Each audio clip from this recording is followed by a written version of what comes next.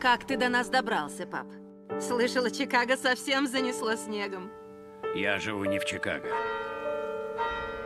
Ты попросил меня приехать за тобой. Помнишь? Сказал, что не можешь больше жить на ферме. Долгие зимы. Все время один. Я никогда ни о чем не просил. Ну как же, пап?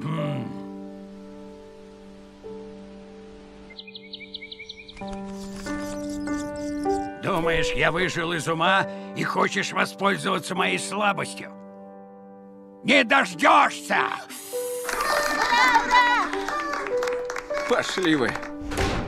Вот что я тебе скажу. Когда в моем возрасте думаешь, что надо пописать, ты уже это сделал. Пап, хватит.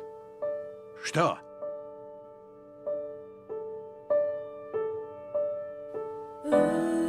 А этот болт в носу не мешает тебе? Это пирсинг. И нет, он не мешает мне. Это означает увлечение модой или он служит магнитом? Дед, ну почему ты всегда извишь, когда мы встречаемся? Они знают, о чем ты мечтал, когда служил в армии? Я и сам этого не знал. Может, так и лучше. Ты похож на какую-то девку. Сегодня что подстригся, Я мистер? имею право на любую прическу. Говнюк! Да не нужна мне твоя помощь! Хватит лезть в мою жизнь! Слышишь? Твое сердце.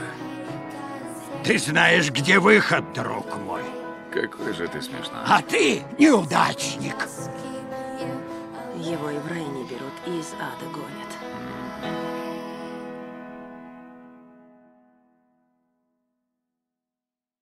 Прости, это я привел тебя в этот мир. Тут всех ждет и радость, и смерть.